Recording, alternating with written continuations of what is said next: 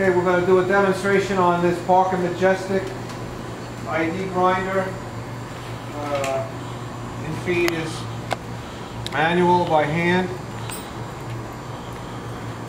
Uh, table is also could be manual by hand. And we also have with this machine a power stroke when we start the table rotation. We get a reversal when we hit the stop here.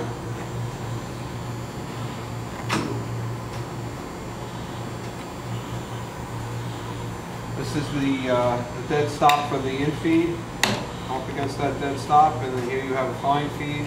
This is also a fixed stop that could be adjusted if you're grinding to some shoulders. Um, we start the workhead.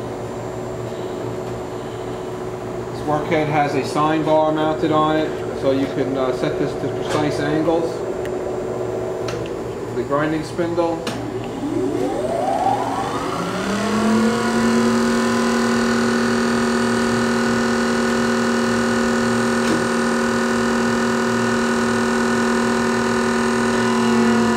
And we also have a reciprocating feature on this machine where we can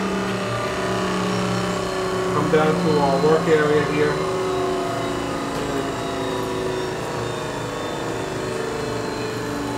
We need to lock this in.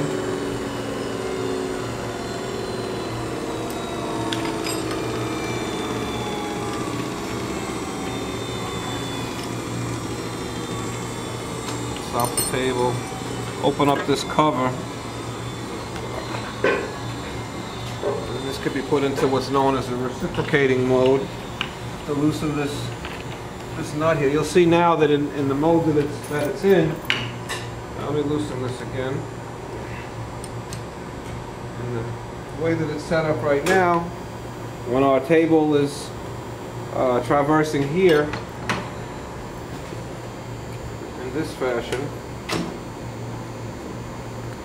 that this arm is rotating uh, around its axis. In other words, there's no eccentric here. We can make an adjustment.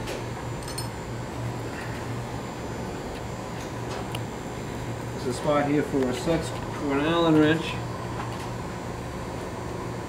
And there's a scale mounted right in here from 0 to 2. And as I move this off center, we'll just go a little bit right now. As I move that off center from the zero mark, tighten it up again, you'll see that when we start this, we have this eccentric movement, which is now moving this. And when I lock this down, it's going to move our table. So this could be used with your spindle in, in, to make a, a reciprocating, a, a fast little stroke. And you can adjust the length of the stroke by how much of an eccentric you move off center here.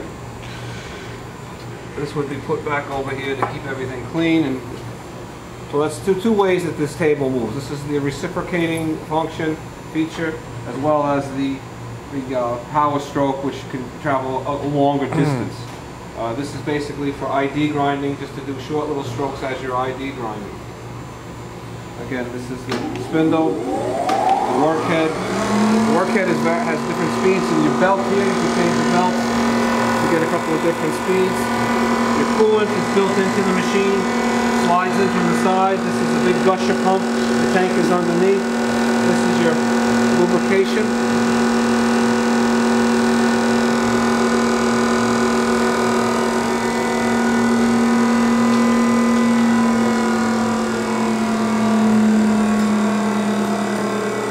And that's pretty much that.